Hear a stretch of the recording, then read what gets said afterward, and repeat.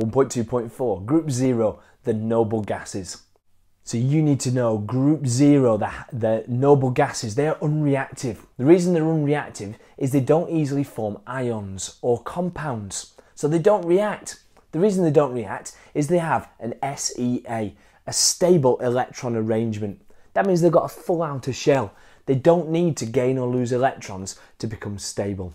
So when you consider the uh, electron arrangement for helium, He, it's 2.0. When you consider it for neon, it's got 10 electrons, so its electron arrangement is 2.8.0. And when you consider it for argon with 18 electrons, it's 2.8.8.0.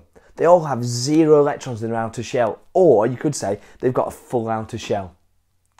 Now, in terms of the properties, as you go down group zero, the noble gases, what you find is the boiling point increases.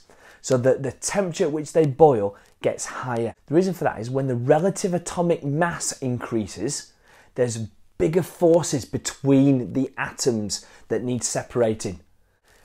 When we're considering Unit 7, the boiling point of hydrocarbons, you'll know that as the chain length increases, the boiling point increases because of the relative atomic mass increases, and there are stronger or more intermolecular forces holding the molecules together. So, therefore, more energy is required to separate the molecules.